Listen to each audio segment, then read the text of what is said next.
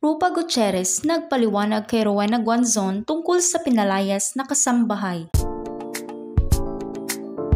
Sumagot si Rupa Gutierrez sa Twitter nang i-mention ang pangalan niya ni Representative Rowena Guanzon sa niligtas na dalawang katulong na pinalayas raw sa isang first-class village. My friend has to rescue two household helpers who were thrown out of a first-class village by their employers without paying their salaries is your compassion? Ito ang nasa tweet ni Representative Guanzon.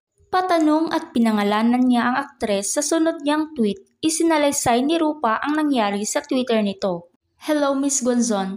No, it's not true. There was a situation at home while I was shooting on the set of Made in Malacanang, so my staff had to call security to make sure my children were safe. The two new kasambahays who had been in our household for only around two weeks were fighting our 68 years old senior mayordoma, who has been under my care for more than 18 years. Nangaaway po sila sa ibang mga kasamahan sa bahay nang wala po ako. They were demanding to leave the house, which I said they were able to do after I returned home from work, so I could talk to them before they leave.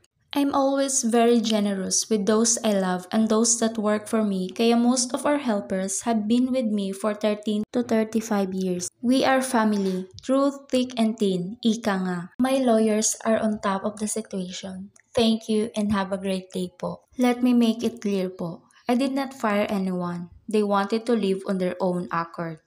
I have rarely been home shooting every day, all day, all night for Made in Malacanang. You should watch it By the way, you're gonna love it.